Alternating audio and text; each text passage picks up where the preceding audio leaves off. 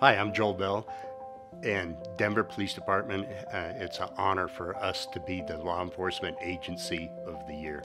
Special Olympics is a place where everyone can be a champion, and we are so excited to celebrate with our athletes.